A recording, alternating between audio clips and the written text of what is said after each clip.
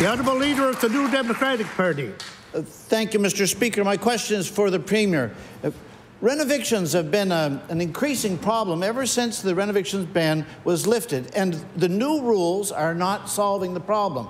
Uh, Colby Bolivar and his roommate, for example, they received a renoviction notice two days after the ban was lifted, and uh, in accordance with the rules, the landlord uh, provided them with uh, three months' rent. But the difficulty is their current rent, it's in Rockingham, is for a two bedroom, $900 a month. Uh, but in Nova Scotia today, the average unoccupied two bedroom apartment is $1,950 a month. Uh, so, uh, will the Premier recognize, or, or does he recognize, that when we're in a 1% vacancy environment, what people need is not compensation for renoviction, but the Question. ability to stay in the homes they have today. The Honourable Premier. Thank the, thank the member. This is obvi obviously uh, an, an, important issue. We understand the, the, housing crisis that exists in this province. That's why, under the, the minister's leadership, we've, we've so, uh, worked so aggressively, so quickly, so urgently to add supply to the market. That's, that's really the way out of this, Mr. Speaker. There is a process in place uh, for, for, for you know, people when people are asked to leave their, their, their dwelling for renovations. I mean, the member, I think, referenced yesterday some people who had to leave because the house was deemed unsafe. Of course, this is going to happen. Of course, we're concerned about the ramifications of it, but there is a process in place uh, to protect tenants, and also protect landlords. The process is there, and I urge everyone to follow that process. The Honourable Leader of the New Democratic Party.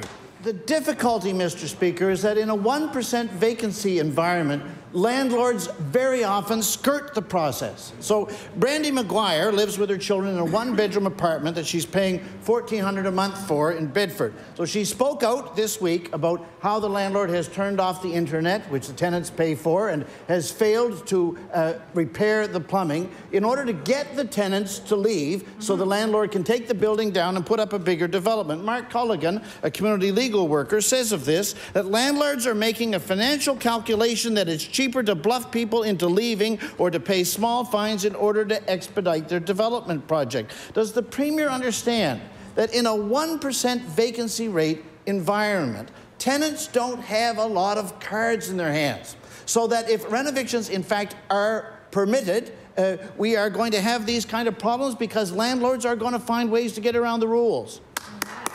The Honourable Premier.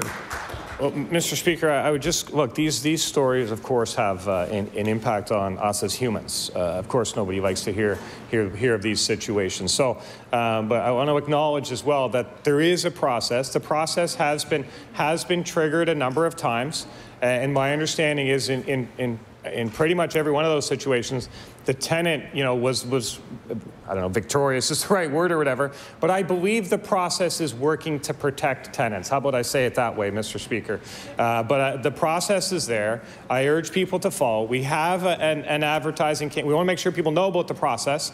So when we when we talk about getting the word out about the process, advertising the process, of course the opposition is not happy with us advertising the process.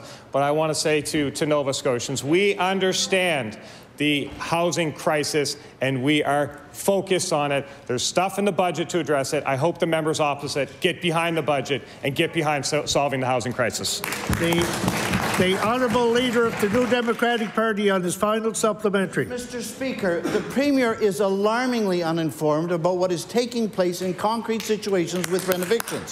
Well, a, si a, single parent in Lunenburg who pays 550 a month for a two-bedroom, she had a renoviction, followed the process, won her case, and then still saw the demolition crew come to take down the walls and the floors from out of her apartment. And commenting on the case, the minister said, as the premier has closely just said, said he thinks there's been some confusion about the new rules. But, Mr. Speaker, there's no confusion about the fact that these various situations could not happen if we still had the renovictions ban that the government rightly extended on January 28th into March without being an absolute convention of the law. So does the Premier recognize that all of these things that are taking place across the province are happening because a 1% vacancy rate is a very poor time to lift the a ban on renovictions? Premier.